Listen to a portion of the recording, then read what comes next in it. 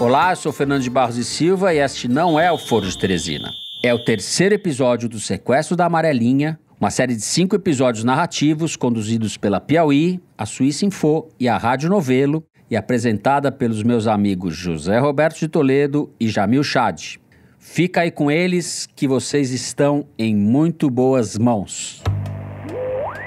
Para mim, a Copa do Mundo é uma espécie de divisor de eras.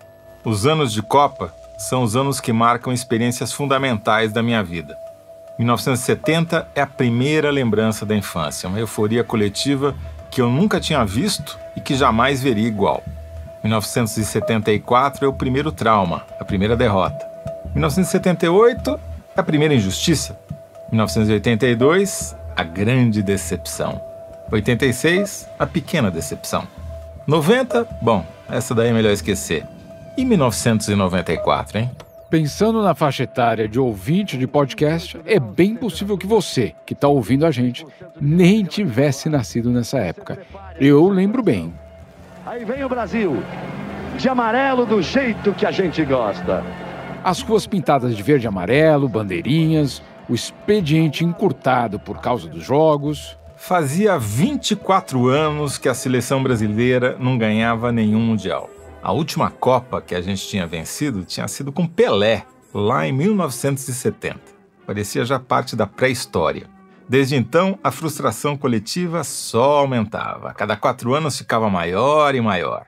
E quem tinha que administrar essas expectativas gigantes, lá em 1994, era o técnico da seleção, o Carlos Alberto Parreira. Acima de tudo estava o trabalho coletivo, estava a equipe, o time e o planejamento, a disciplina, a organização. Nós não tivemos uma dor de cabeça, um problema ao longo de quatro meses de preparação, porque todos estavam comprometidos com um objetivo comum, que era voltar a ser campeão do mundo. A gente só espera que o Brasil possa dominar os nervos logo no início. Porque o Brasil é mais time, aí vai o Brasil. A estratégia do Parreira deu certo.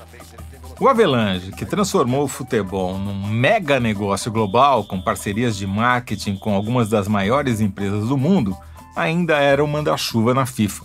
Ele deixou um pupilo na presidência da CBF para replicar o modelo desse negócio no Brasil. E se eu te falar que o episódio de hoje começa com uma história de amor?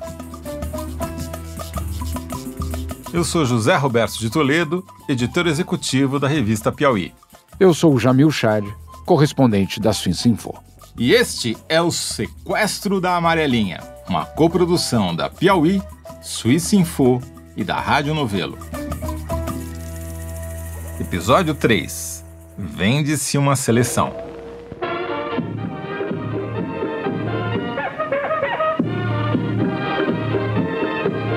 Como vai? Vai bem? Esse é o Chacrinha cantando Como Vai, Vai Bem? Um dos hits do carnaval de 1966. Esse carnaval foi um pouco atípico, pelo menos no Rio de Janeiro. Choveu ainda mais forte do que já costuma chover nessa época do ano.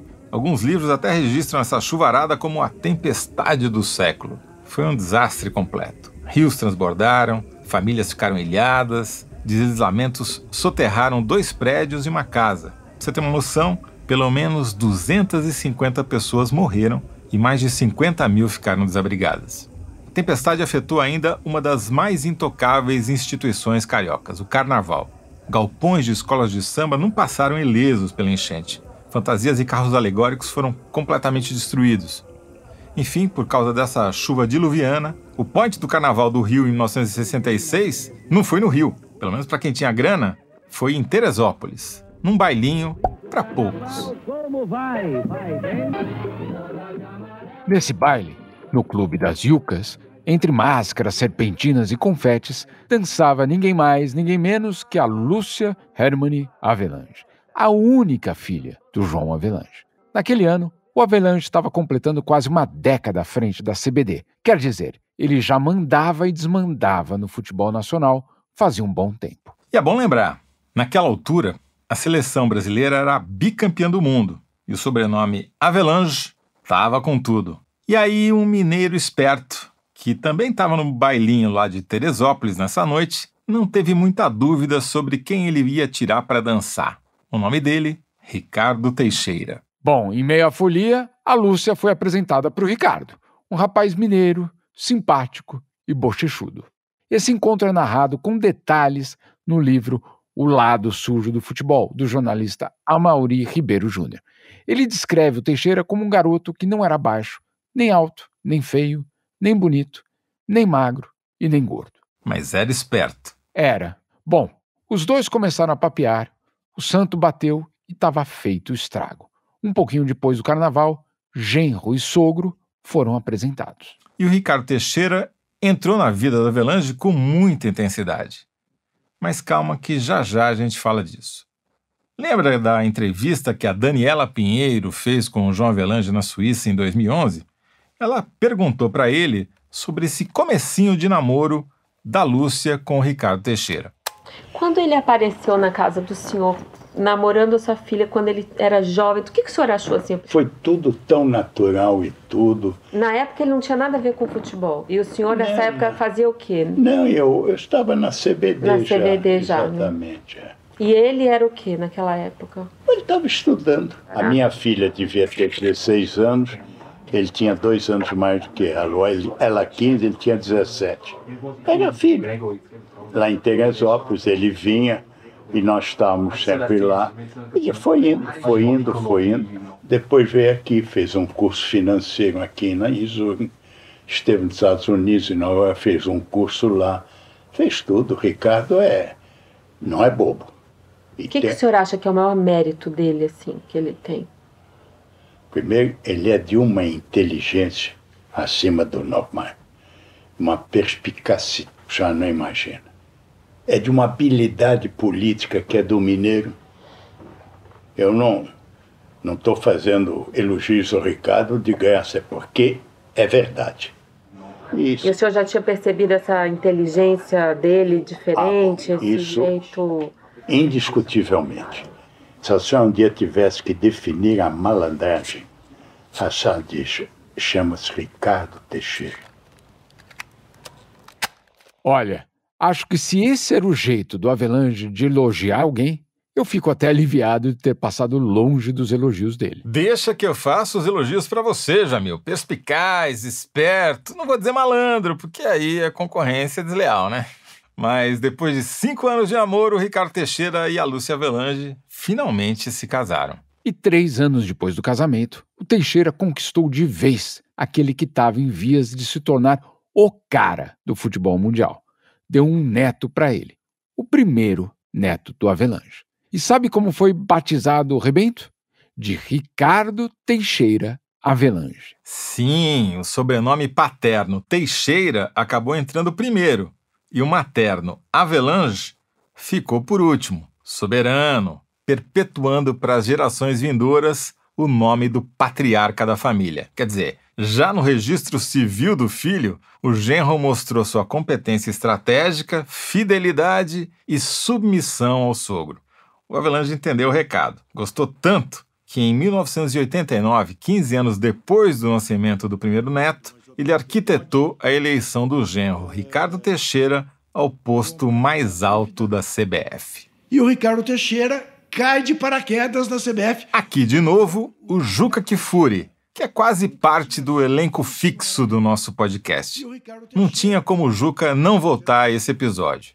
Ele é um dos jornalistas que mais bem conhece o Ricardo Teixeira. E quando eu digo mais bem conhece, eu não quero dizer que eles são próximos, que gostam um do outro. Na verdade, os dois viviam em pé de guerra. E o motivo é o mesmo pelo qual o Juca virou desafeto de um monte de outros cartolas. Bom jornalismo. Desde os anos 80, o Juca escreve sobre maracutaia no futebol e, claro, na CBF.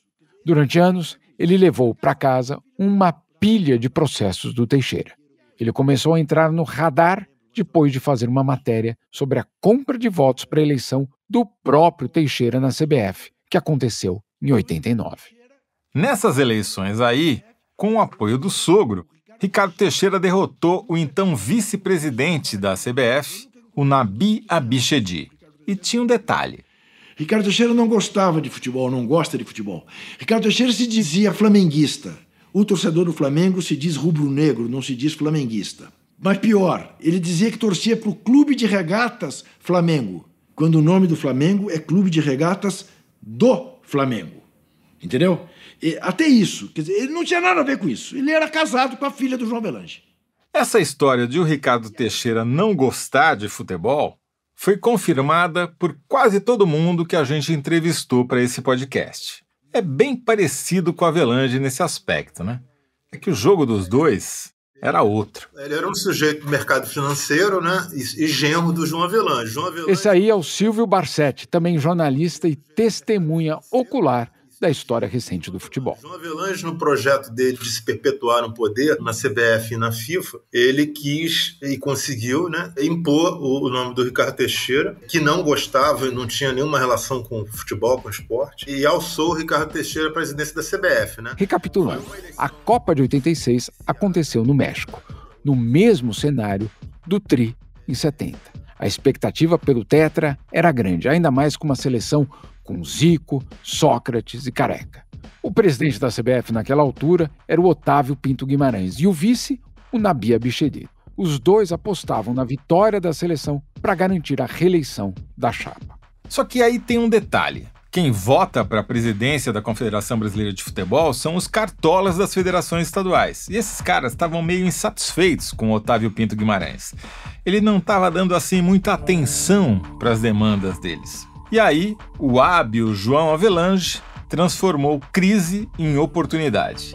Viu na Copa do México uma brecha para entrosar o genro dele com os cartolas estaduais. O Avelange chamou a cartolada toda para ir para o México a convite dele, com direito a hotel, ingresso e ouvidos para quem quisesse chorar as pitangas. Em troca, os dirigentes ouviram sobre as muitas qualidades do genro Ricardo Teixeira para a presidência da CBF nas próximas eleições.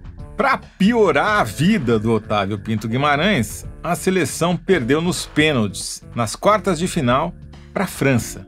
Até o chute do Sócrates foi defendido pelo goleiro francês. O Carlos, goleiro brasileiro, ficou marcado por um cúmulo do azar. Marcou um gol contra na cobrança de pênalti. O francês chutou na trave, a bola voltou, bateu nas costas do Carlos e entrou para as redes. Corta para 88, campanha para a presidência da CBF. O Avelange não perdeu a chance de refrescar a memória dos cartolas estaduais e ligou para cada um deles para reforçar as qualidades do genro, desfilando termos que iam virar a bandeira da gestão Teixeira: competitividade, patrocinadores, merchandising e por aí vai. Um discurso assim, Faria Limer avant la lettre, digamos. E o Avelange sabia que só discurso não rende voto. Então, mandou o genro pessoalmente visitar os gabinetes dos cartolas para ver o que eles estavam precisando. Só em mimos foram gastos quase 2 milhões de dólares na campanha de Teixeira. Curiosidade: o grosso desses mimos eram aparelhos de fax, que na época eram caríssimos e que você, ouvinte, talvez nem saiba do que se trata. Bom, nem precisa dizer que com essa campanha habilíssima, o Ricardo Teixeira foi eleito, né? O Nabi Abichedi até delatou o esquema de venda de voto, mas não dei nada. Bom, verdade seja dita. Quando o Ricardo Teixeira assumiu a cadeira em 89, a situação da CBF estava bem mal das pernas e se segurava praticamente só com apoio do governo. A primeira Copa do Teixeira já era no ano seguinte, 1990, e ele não tinha em caixa nem o dinheiro para as passagens da delegação. E ele tomou uma medida que afirmara a aliança mais duradoura da história da CBF.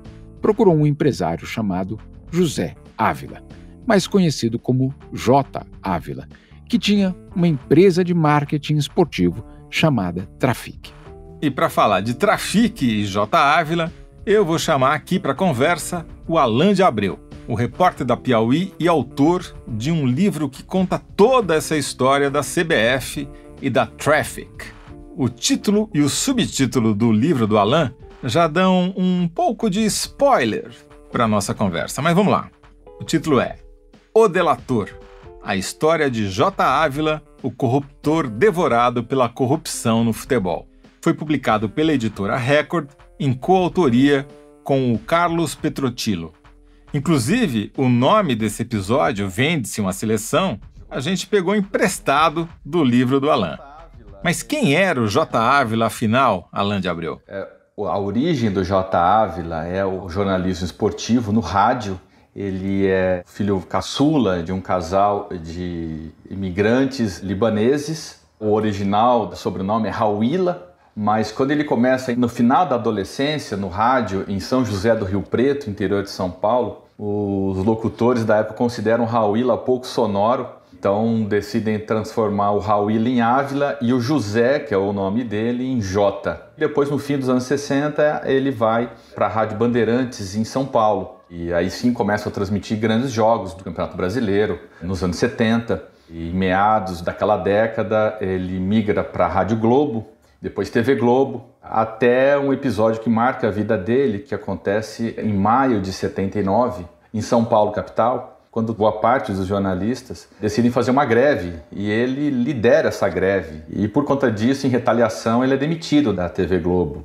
Então ele se vê sem emprego, decide que não queria mais ser jornalista na vida dele, queria ser um empresário. E ele se junta com outros dois amigos em São Paulo e compra uma empresa que fazia publicidade em pontos de ônibus na capital paulista, a chamada Traffic ou Trafic, né, a portuguesando. Ele transforma a Trafic em uma empresa de marketing esportivo com publicidades na beira do gramado nas transmissões esportivas, que era algo muito novo no Brasil. E na época era uma coisa amadora, assim, os, os clubes trocavam eh, publicidade por sacos de cimento. E o Ávila enxerga esse filão e passa a investir nesse assunto e começa a ganhar muito dinheiro. Até meados dos anos 80, quando ele começa a se interessar também pelos direitos de transmissão de rádio e TV dos torneios de futebol, tanto no Brasil quanto na América do Sul.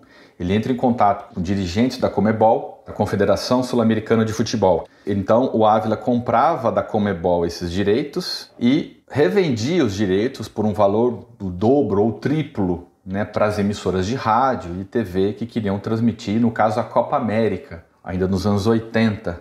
Até que com o Ricardo Teixeira no comando da CBF, a partir de 89, eles criam uma sociedade oculta, né, que só vai vir à tona com o FIFA Gate décadas depois. Né? E como é que funcionava essa figura do intermediador? Porque a rigor, a CBF poderia, em tese, vender diretamente os direitos de transmissão para uma ou mais emissoras de televisão, não? A triangulação, Toledo, ela permite justamente o suborno.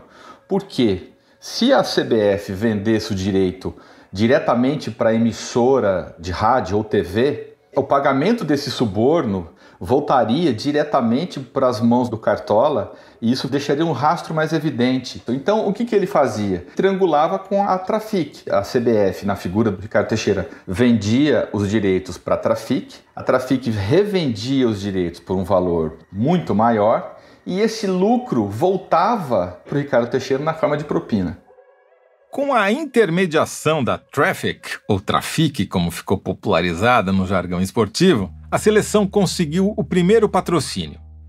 Um milhão de dólares da época em troca de placas no campo de treinamento da Granja Comari, em Teresópolis, e logotipos da Pepsi na camiseta dos jogadores. Atentos aos novos contratos da CBF com a Pepsi, os jogadores perceberam que estavam sendo usados e passaram a reivindicar um quinhão do contrato da Pepsi. Para o contrato sair, eles tinham que literalmente vestir a camisa. E eles se rebelaram. Tem uma foto que ficou famosa da concentração em que os jogadores taparam o logo da Pepsi com a mão. O boicote surtiu efeito. Desesperou o Ricardo Teixeira, que conversou com Ávila para liberar mais 100 mil dólares que seriam repassados integralmente aos atletas. O conflito foi superado, mas permaneceu latente. A desconfiança de que teriam sido enganados corroeu a unidade do grupo. É o futebol, né? Infelizmente faltou o gol. Acho que o Brasil merecia o melhor resultado, mas infelizmente ele não aconteceu. O Brasil perdeu para a Argentina nas oitavas de final. Esse aí, falando desanimado, é o Sebastião Lazzaroni, técnico da seleção de 90. Numa declaração na época, o Ricardo Teixeira disse que os jogadores menosprezaram os adversários e só estavam preocupados com o bicho, que é como se chama a grana que eles recebem quando ganham um campeonato. Ele nunca botou a culpa da derrota no Lazzaroni, mas não demorou para trocar o técnico. O escalado foi o Parreira, que tinha sido preparador físico do Tri em 70. Em 1991, o Ricardo Teixeira foi reeleito e trouxe o tio, Marco Antônio Teixeira, para ser secretário-geral da CBF. O tio Marco Antônio Teixeira, que diga-se de passagem, tinha vasta experiência no setor farmacêutico. Cargo de confiança, né, Janil? Tem que ser de confiança. Indispensável para azeitar, ou pelo menos para não atrapalhar, os planos de Ricardo Teixeira com o J. Ávila. Ou seja, transformar a CBF numa marca mundial poderosa e a Traffic numa das maiores agências de marketing esportivo do mundo. Acontece que a dobradinha CBF Trafic não foi bem digerida por um personagem bem importante que estava ambicionando morder um pedaço da potencial bolada do futebol brasileiro, o Rei Pelé. Depois da Pelé Sport Marketing perder as concorrências da Copa do Brasil e do Campeonato Brasileiro de 92, o Pelé deu uma entrevista bombástica para a revista Playboy em que ele conta que a Pelé Esportes e Marketing fez uma proposta para ter a Copa do Brasil. O tesoureiro da CBF eh, lhe pediu uma propina, eles não quiseram dar, e a Copa, apesar da proposta da Pelé ser maior do que a da Globo, continuou na Globo. Num trecho que ficou famoso da entrevista do Juca Kfouri com o Pelé, o rei diz, abre aspas, eu vou começar agora a lutar contra a corrupção que existe dentro do futebol. Não é justo você se calar diante da miséria da maioria dos nossos clubes e jogadores enquanto tem dirigentes de confederação ricos, milionários. O Ricardo Teixeira resolve a intriga no tapetão, mete logo um processo no Pelé. E o Avelange, claro, fica do lado do genro. E quando o Pelé denunciou corrupção na gestão do Ricardo Teixeira, ele disse que o Pelé era um ingrato, que o Pelé não seria nada se não fosse ele. E conseguiu, para pasmo dos americanos, tirar o Pelé do sorteio da Copa de 94. Não se esqueça disso, por causa da denúncia. Nessa, o Pelé saiu como arauto da moralidade no futebol, o que acabou rendendo para ele um Ministério dos Esportes no governo Fernando Henrique Cardoso. Mas, perto da bolada que representavam os acordos que estavam por vir, ele saiu de mãos abanando. Na preparação para a Copa de 94, a dupla dinâmica Ricardo Teixeira J. Ávila fechou um contrato de direitos de transmissão dos jogos com a Globo, que passava de 120 mil dólares para 2 milhões. Fecharam também um patrocínio com a concorrente da Pepsi, a Coca-Cola, por mais de 7 milhões de dólares e com a marca inglesa de materiais esportivos Umbro por mais 3 milhões. Aliás, essa amarelinha da Umbro parecia feita para boicotar a seleção brasileira. O Moraci Santana, que foi o preparador físico da seleção na Copa de 94, contou essa história para gente. Com a Umbro em 94, a gente partindo para jogar num verão lá nos Estados Unidos, jogando ao meio-dia uma hora, com calor de 40 graus na cabeça, eu, quando tomei conhecimento do material que a gente ia utilizar, que não tinha nada de tecnologia para se jogar num calor daquele, eu arrumei até uma confusãozinha lá com esse negócio do material, porque o tecido era o chacar. É uma espécie de tecido que se faz gravata. Pô, isso vai me prejudicar. Eu sou preparador físico. Amanhã acontece alguma coisa lá no jogo lá, o pau vem em cima de mim, não vem em cima da ombro. É, você tem razão que o tecido é assim, assim, assim, mas está é, é, tá muito em cima, a gente não pode trocar. E jogaram com a camiseta ruim? Ah, a camisa era ruim. É, eu acho que era a pior de todas as equipes que tinham lá na Copa. Isso aí, um jogo de 90 minutos, um calor no sol lá, o atleta chega a perder 5 quilos. Você vai chegar no fim do jogo, você está debilitado. Simplesmente pelo material que você está usando. Esses detalhes decidem uma Copa. O nível é muito alto. É, mas mesmo com a camisa jogando contra. Vai que é sua, Tafarel! Partiu, bateu! Acabou! Acabou! Enquanto eu, o Toledo, o Galvão Bueno e milhões de brasileiros estávamos soltando o grito da vitória, que estava entalado na garganta fazia 24 anos, o Ricardo Teixeira estava dando era um grito de independência, porque até aquele momento ele ainda era visto como o genro do Avelange, como um cara que chegou ao cargo mais importante do futebol brasileiro sem nunca ter dirigido um clube sequer. E agora, Dunga? O Brasil quer ver esta taça lá no alto. Bastou o Dunga levantar a taça de campeão do mundo para o Ricardo Teixeira ganhar a confiança que precisava para sair da sombra do sogro. E ao contrário do João Avelange, que aprontava, mas aprontava, digamos, com elegância, o Teixeira não era nada discreto nas suas estripulias. Tem uma anedota da volta da seleção para o Brasil que descreve isso muito bem. No que ficou conhecido como voo da Moamba, jogadores, comissão técnica e o próprio Teixeira trouxeram mais de 10 toneladas de eletrodomésticos e quinquilharias eletrônicas dos Estados Unidos. Teve jogador que trouxe geladeira, gente que excedeu o limite legal de importação em mais de 30 vezes. E bom, eles todos se recusaram a passar pela inspeção alfandegária na Receita, no Rio de Janeiro. Para liberar a carga, o Ricardo Teixeira telefonou para o então ministro da Casa Civil, Henrique Argrives, e mandou o seguinte: Ô Argrives, estamos com um problemão aqui. Se a bagagem não for liberada, os jogadores não vão desfilar em carro aberto, tá ok? que, que o Argrives fez? A saída agora do carro com a seleção brasileira. A Muamba foi liberada sem inspeção ou pagamento de tributos. O valor sonegado foi de aproximadamente um milhão de dólares. O secretário da Receita Federal na época, Osíris Lopes Filho, pediu demissão.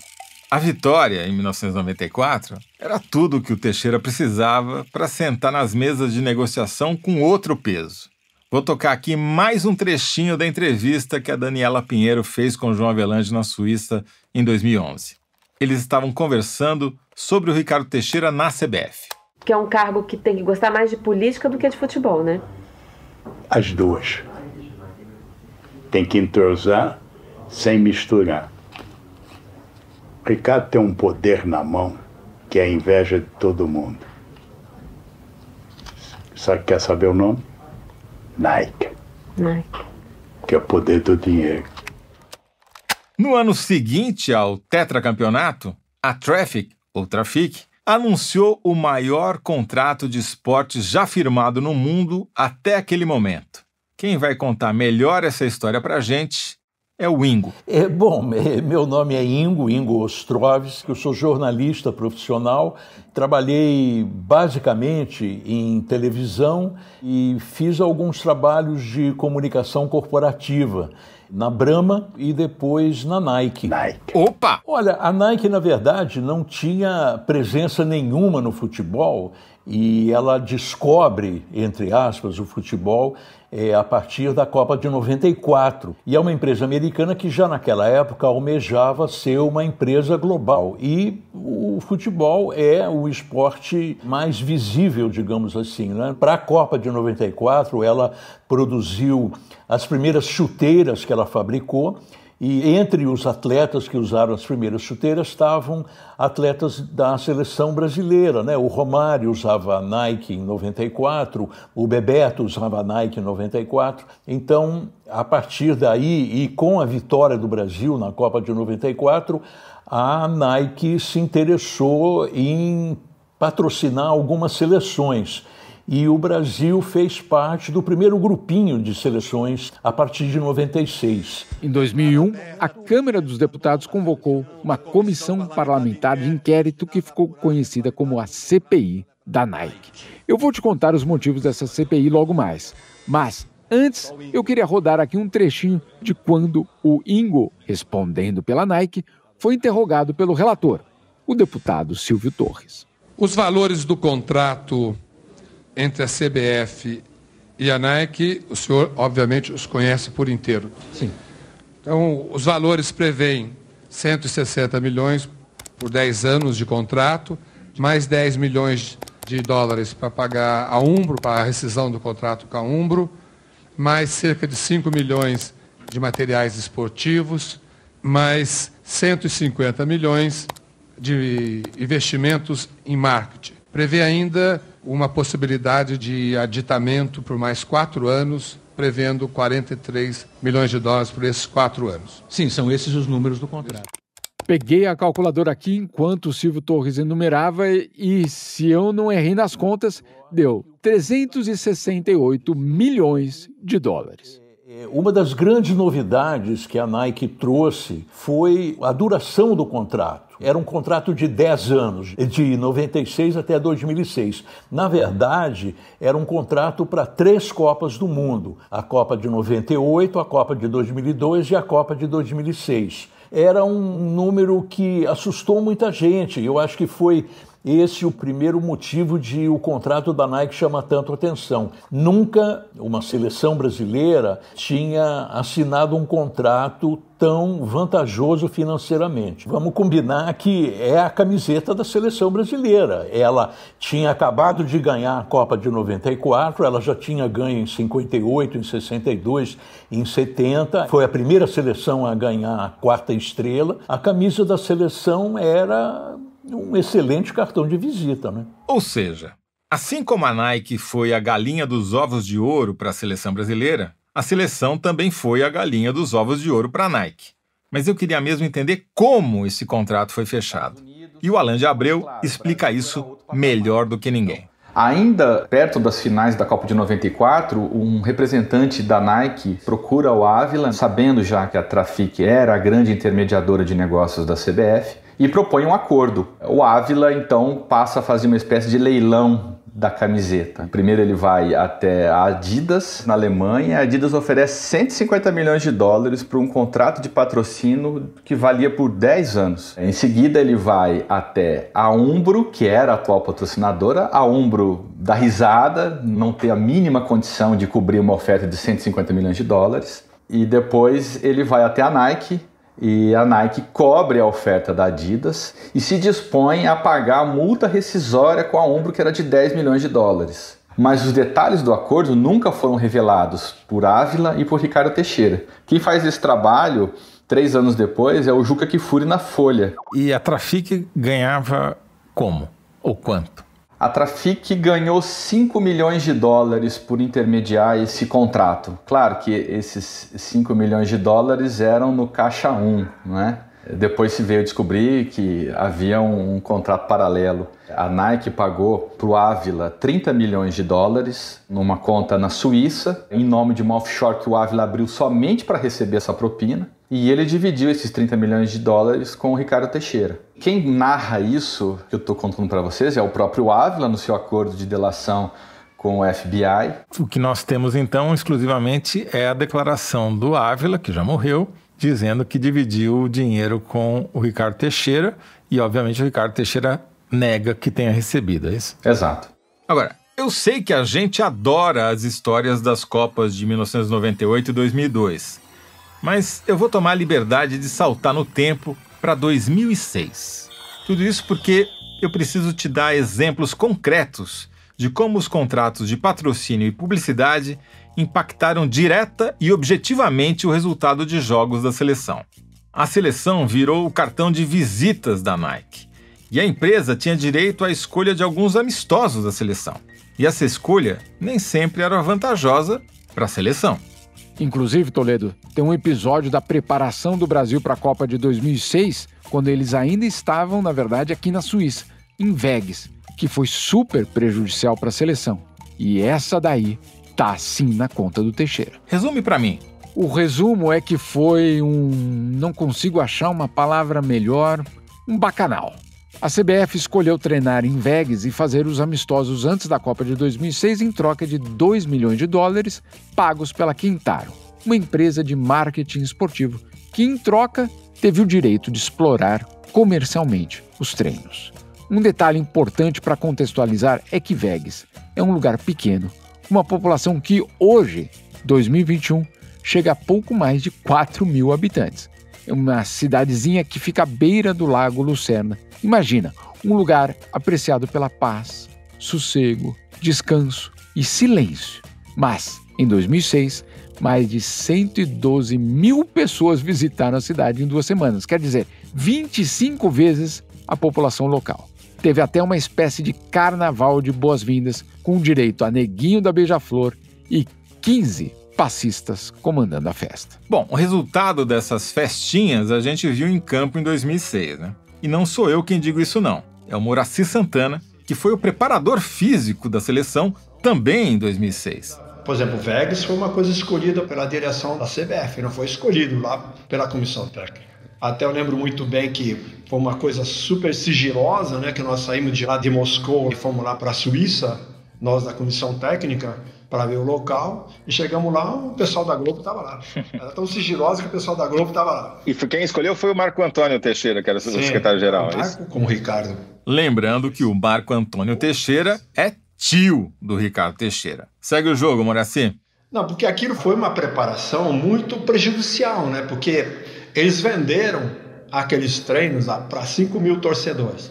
No primeiro dia, nós treinamos lá, 5 mil torcedores, nós não estamos sabendo de contrato nem de nada. No segundo dia, pela manhã, eu tinha um trabalho dentro da sala de musculação. Eu estava fazendo o trabalho e o Américo falou que era o supervisor, chegou e falou assim, você tem que levar o pessoal no campo. Seu Américo, não tem nada programado no campo, o campo é só à tarde. Não, ele me puxou de lado, você tem que levar lá porque tem 5 mil torcedores lá que pagaram ingresso e os caras têm que ver o jogador. Tem um contrato com a CBF e tal. Tá bom. Entrando no campo, os jogadores começaram a trotar. 10 minutos, 15 minutos, e eu enrolando lá, né? O embromation. Até que deu uns 15 minutos mais ou menos, aí começou o Roberto, pô, professor, nós vamos ficar correndo aqui até que hora?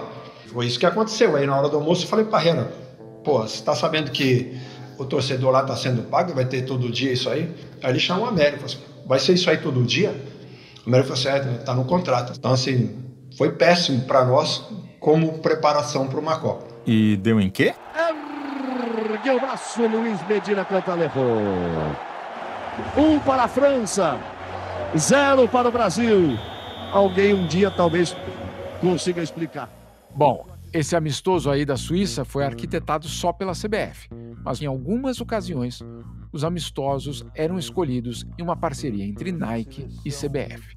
É, o contrato previa um número de amistosos que seriam organizados evidentemente, para a seleção aparecer, e quando a seleção aparecia, é evidente que a Nike aparecia também, não é? A Nike.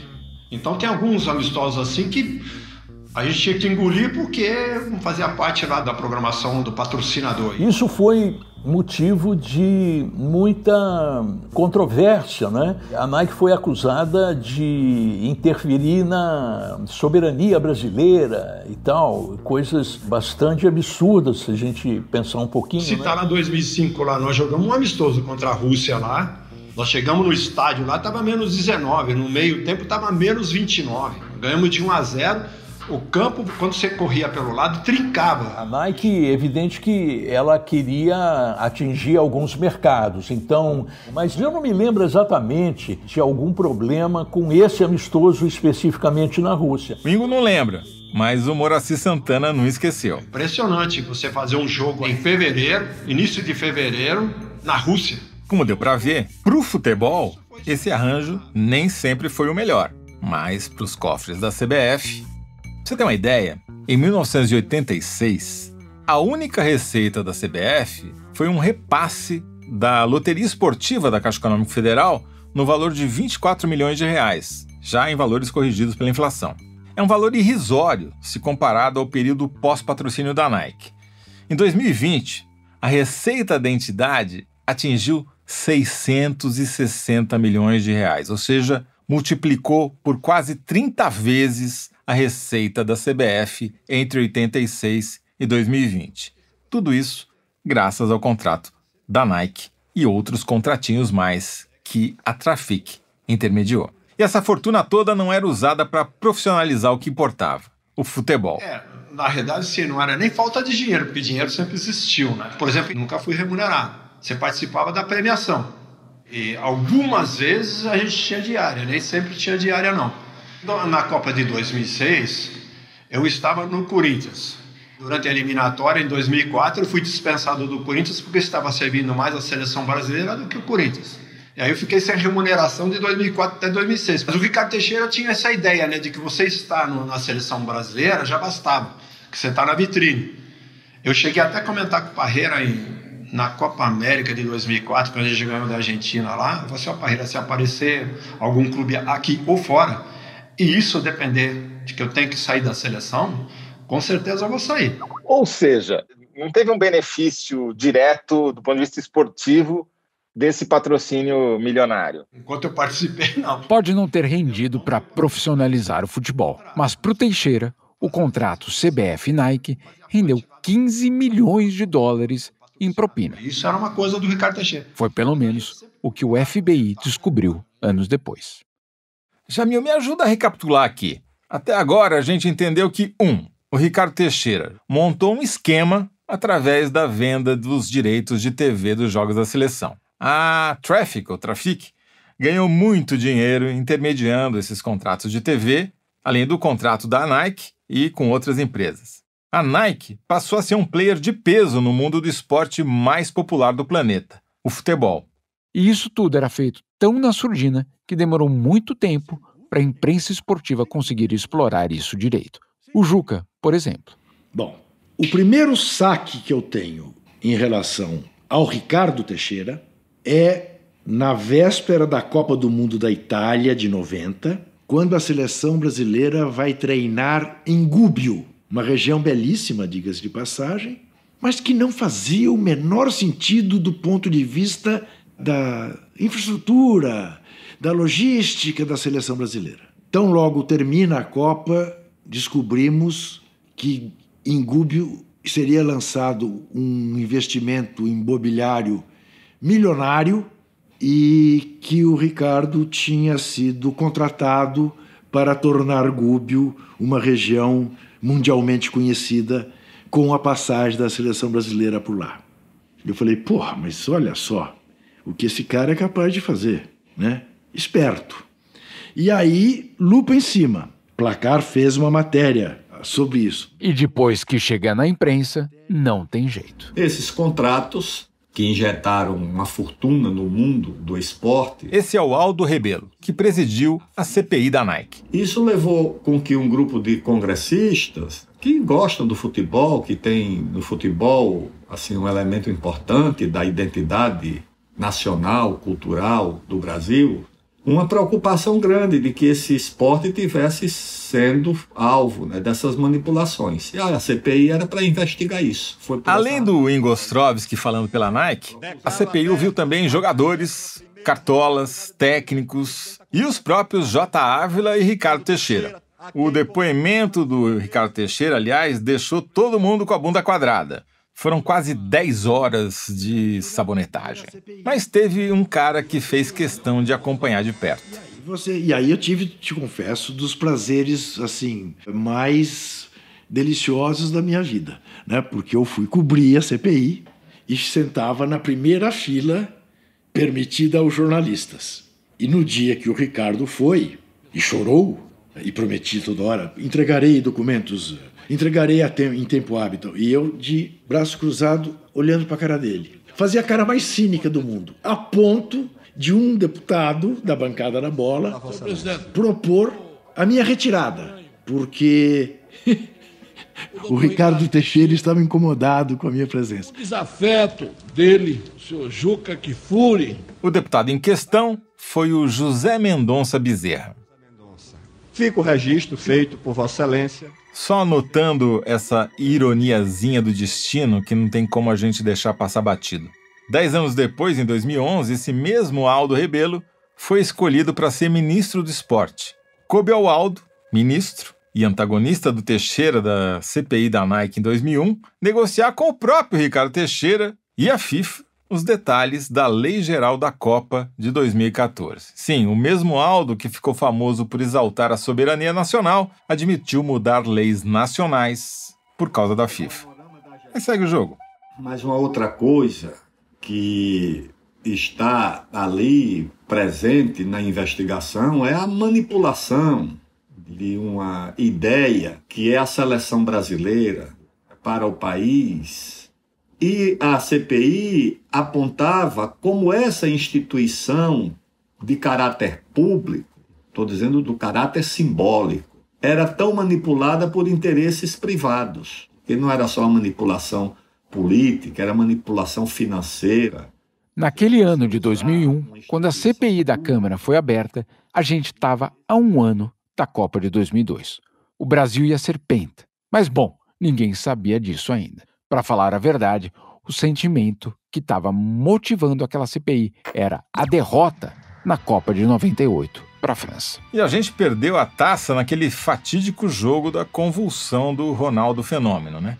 O maior garoto propaganda da Nike naquele momento. Afinal, o que houve com Ronaldinho? Naquela época rolou uma teoria da conspiração meio furada, meio não, completamente, sobre uma possível interferência da Nike que teria obrigado o Ronaldo a jogar, mesmo ele não estando muito bem. Isso, é claro, inflou os ânimos de todo mundo. Todos os congressistas queriam virar heróis nacionais, defendendo a seleção contra os caras malvados. Na realidade, como eu estava recém chegando no Senado. Esse é o Geraldo Altoff, relator de uma outra CPI no Senado. Eu me disponibilizei a ser membro dessa CPI indicado pelo antigo PFL, meu partido. É, o bicho estava pegando tanto que rolaram duas CPIs, uma na Câmara, outra no Senado, ambas apurando corrupção no futebol. E o Teixeira tinha muitos amigos na política. Naquela época existia a chamada bancada da bola no Congresso. Na Câmara e no Senado havia políticos que eram ex-dirigentes e dirigentes de clubes. Pois aqui foi a hora dos amigos dele tumultuarem a CPI. Lembro-me do dia que nós fomos fazer a convocação do Ricardo Teixeira. Houve uma movimentação muito grande na CPI para evitar que eh, houvesse aprovação daquilo que a gente propunha e nós fomos felizes por um voto. As duas CPIs eram uma espécie de esperança de que finalmente alguma coisa ia ser documentada sobre a corrupção na CBF. Só que um esquema quase mafioso tentou de tudo para barrar as investigações.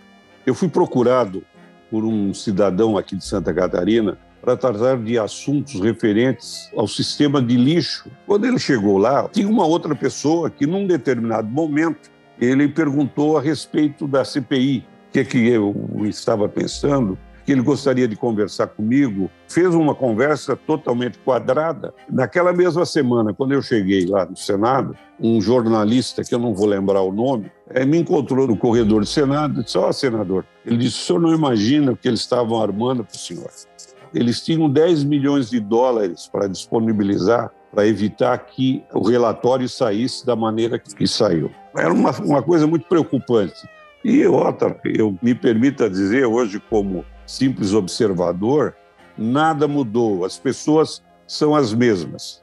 Desde João Avelange até hoje, nada mudou. O relatório do Geraldo Althoff no Senado foi aprovado por unanimidade. No documento, ele sugeriu, com base nas quebras dos sigilos bancários e fiscal dos investigados, o indiciamento de 17 pessoas. Entre esses potenciais indiciados estariam, por exemplo, o Eduardo José Fará, que era o presidente da Federação Paulista na época, o Eurico Miranda, então presidente do Vasco e deputado, e o próprio Ricardo Teixeira, presidente da CBF. São tantas, mas tantas as acusações contra os indiciados que eu preciso tomar fôlego antes de elencar uma por uma. Vamos lá. Apropriação indébita de recursos da CBF. Crime contra o patrimônio da CBF Desvio de recursos do Mundial de Clubes da FIFA realizado no Brasil. Evasão de divisas na Copa Ouro em 1998 no valor de 400 mil dólares. Apropriação indébita de doações.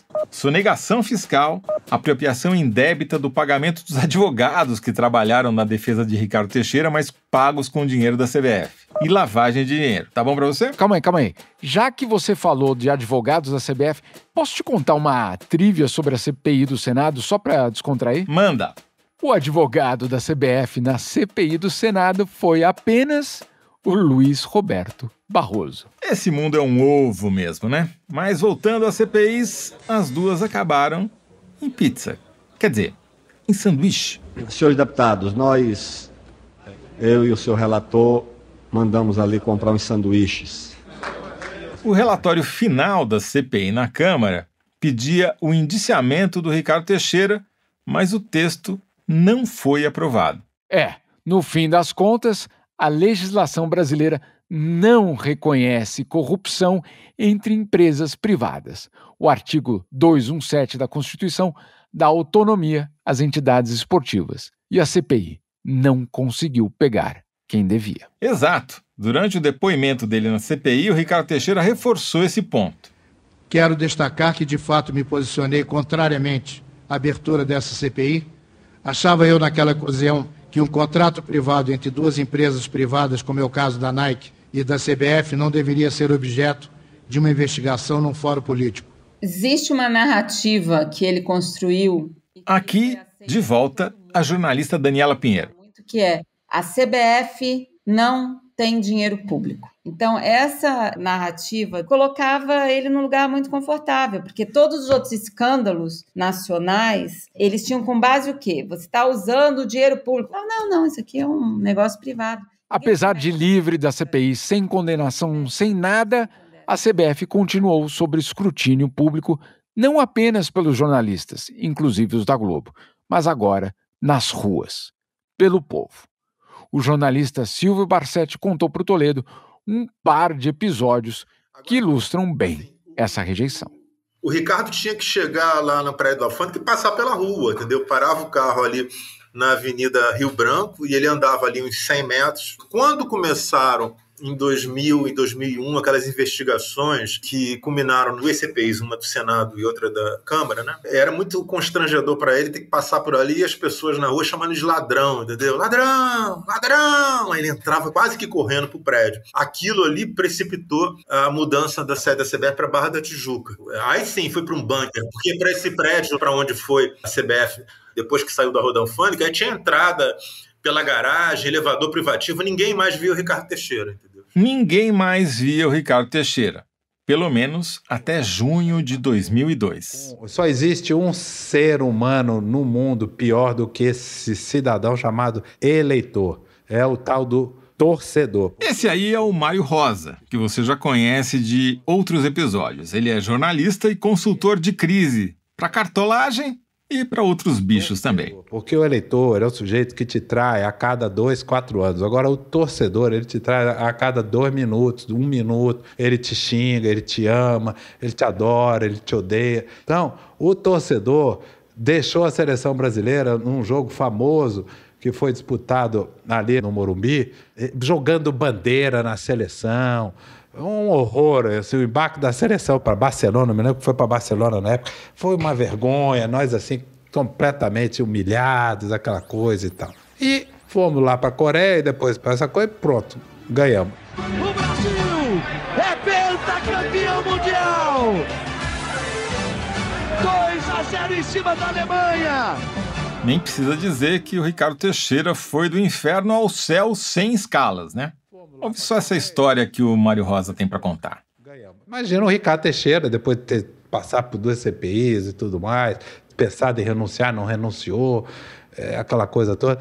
Aí ele ganha. Claro que ele toma um porre grande, né? E faz algo que. Eu não sei se algum outro dirigente fez isso na vida, que ele pega, vai dormir em toque sozinho, ele e a, a Copa do Mundo, na cama, só a ele. A taça FIFA. A taça FIFA, meu irmão. Na cama. Na cama, só ele. Sem a mulher.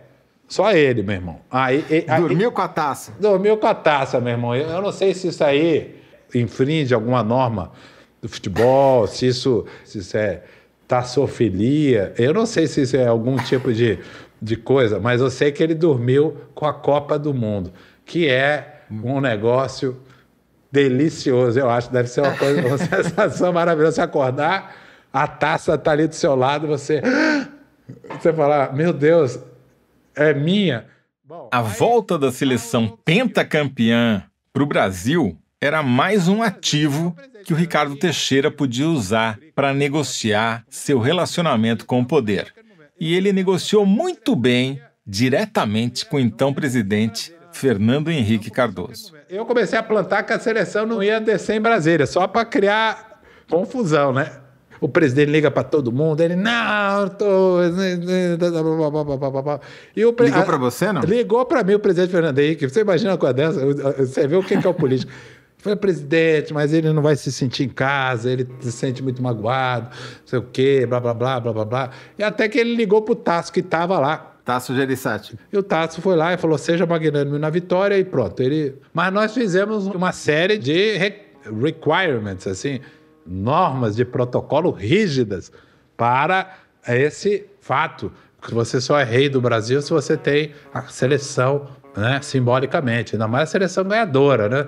É como o general que volta para Roma e se apresenta ao imperador, né? É um momento épico. Ah, o avião chega e tinha uma combinação, porque neste momento em que abre a porta do avião da seleção brasileira, depois tocar a base aérea de Brasília, vai se abrir e vai sair o capitão Cafu junto com a Copa do Mundo e o ídolo Ronaldo e não sei o quê. Este é o momento para a transmissão nacional ao vivo, certo? Estava combinado antes que nós não teríamos como punição pelos maus tratos nenhum elemento do governo, porque aquela não era uma vitória do governo, era uma vitória do time. Para nossa surpresa, o avião encosta a escada, vai o ministro do esporte e o secretário executivo e abre a porta, eles entram. Quando eles entram, o Cafu chega pro presidente, tudo combinado já, né? Ih, presidente, tá complicado esse negócio aí, presidente. Tá complicado, hein? Tá complicado, complicado. Fala uma coisa assim, algo desse tipo. Aí fica aquele mal-estar, assim, horroroso, assim, porque ninguém sai. Aí se você vê a cena, eles sobem, entram, ficam ali um pouquinho e descem. Aí passa-se um tempo, aí faz-se a cena que é a cena da chegada da seleção do Brasil. Mas, por exemplo, o consultor de crise ajudou muito porque lá dentro ia ter uma condecoração, cada um ia ter uma condecoração, uma condecoração que ia chamar Ronaldo Nazário de Lima. O presidente Fernando Henrique vai lá e coloca uma medalha no peito dele. Capitão Cafu! Povo, porra, povo, todo mundo lá na frente, não é? Quando gritasse assim, Ricardo Terra Teixeira, vai. aí, aí, meu irmão, ia ser assim, Teixeira é vaiado na festa do Penta. O que, que a gente fez? A gente condecorou ele já no gabinete presidencial, ele já saiu condecorado. Na primeira taça que trouxe para o Brasil, o Teixeira promoveu o avião da Muamba. Na segunda, foi condecorado às escondidas no Palácio do Planalto para fugir das vaias. Quando a Daniela Pinheiro foi para a Suíça para fazer o perfil do Ricardo Teixeira para Piauí em 2011, havia um zum zum zum na imprensa de que ele estava sendo cotado para herdar outra cadeira que tinha sido ocupada pelo sogro, a da presidência da FIFA. A minha ideia inicial era: eu não entendo nada de futebol, eu não sabia nada da escalação, eu não sabia quem era o técnico. Quando ele falava Mano, eu achava que era Mano Brown, mas era Mano. Mano Menezes. e eu acho que aquilo deu para ele uma segurança porque aquela pessoa tinha dado entrevista durante 30 anos sobre escalação, sobre dinheiro, sobre é, quem é o goleiro, quem é o técnico, é... e para mim não interessava nada daquilo. Para mim interessava ver aquele homem em ação, ver aquele homem falando, era poder, que era uma coisa que eu gosto de escrever sobre pessoas que estão num nível ali intocáveis e não falam. E aí eu acho que ele se sentiu confortável a Daniela faz o estilo repórter carrapato, aquele que não desgruda do entrevistado. Colar no personagem é um bom jeito de entender o modus operandi do capo do futebol brasileiro. Aí vem a Daniela Pinheiro e faz aquele perfil na revista Piauí e enforca ele com as declarações dele, porque aquilo é ele. Quer dizer, tinha que ser uma repórter esperta como ela, né? A jogar água para ele se afogar. E foi jogando, e foi jogando, e ele foi se afogando, ia se achando, falando para uma moça e tal, mostrando como ele é poderoso, prendo e arrebento, vou perseguir não sei quem, não vou dar credencial para quem não quiser, só tenho que estar tá preocupado em estar tá bem com a Globo, foda-se o resto, falava palavrão, e ela foi. Só com aspas, com aspas, ela enforcou ele, porque ele era assim. Eu não vou dar spoiler da reportagem, porque vale a pena ler, ou reler se você já leu na época. Ela tem aspas inesquecíveis do Ricardo Teixeira, como caguei montão. Quando eu decidi também fazer essa matéria, existia um, como se fosse um senso comum entre as pessoas que cobriam futebol, que o Ricardo Teixeira seria um forte candidato à presidência da FIFA. E o Avelange respondia isso, e os jornais, assim como digo, jornais, a imprensa brasileira esportiva, cobria dessa maneira, não é? Era assim, ah, ele está indo para a eleição da FIFA, mas na próxima é ele, a voz do, é, a próxima é o Brasil, e tinha essa vibe ali. Ele ia ser candidato agora, eu disse, ele não faz isso. Deixa o prato até 2014. Ele vai, porque ele vai fazer, eu já disse, ele vai fazer 80 anos, vai para casa. Ele agora já aceitou. E eu quero ver se empurra o Ricardo. Se eu tiver ainda vivo, né? O Ricardo Deixer casou com a minha filha há muito tempo, me deu três netos, me deu três bisnetos. Minha filha separam, eles separam-se da minha filha. E um dia eu, eu tinha posto o Ricardo assim à margem, é doído. Um dia minha mulher me chamou e me disse: Não te esqueças que ele é o pai dos teus netos. Nunca mais voltei como se ele tivesse casado com minha filha até hoje. Neto é neto, bisneto é bisneto, tem nada a ver com isso. Então, assim, a ver como a gente aprende na vida. Se eu puder fazer o presidente, faço. Não sei se aguento até lá, mas eu continuo fazendo minhas cartinhas, de cada um lugar tem um ponto. Ele sozinho, o senhor acha que se faz presidente? Ou ele precisa que o senhor esteja por aí? A única coisa que o Ricardo não é, é bobo. Tanto é, há quantos anos ele está na CBF? Praticamente desde que eu saí, não é verdade? E, e, quando eu cheguei na Suíça e eu vi que o Ricardo Teixeira não falava nenhuma língua estrangeira direito, e o Blatter, por exemplo, que era o então presidente e depois foi reeleito, falava sete, e que o Ricardo Teixeira não era convidado para nenhum evento e reunião importante daquele núcleo duro das pessoas que estavam naquela altura, havia uma crise, que havia uma, uma, uma sombra de corrupção e de é, troca de favores. Ele era uma pessoa completamente alijada daquele processo. Alijada, alijada. Mas em 2011, na época em que saiu o perfil do Ricardo Teixeira na Piauí, já tinha algumas denúncias contra ele, principalmente um escândalo que revelava um esquema da CBF com a ISL. Sim, a ISL do Dassler, o amigão do Avelange, de quem a gente falou no episódio passado. A gente vai falar melhor sobre esse caso mais para frente. Mas em resumo, em 2010, uma reportagem da rede britânica BBC descobriu que o Teixeira e o Avelange tinham recebido 9 milhões e meio de dólares em propinas da ISL nos anos 90 em troca de contratos de exclusividade para transmissões e patrocínio da Copa do Mundo.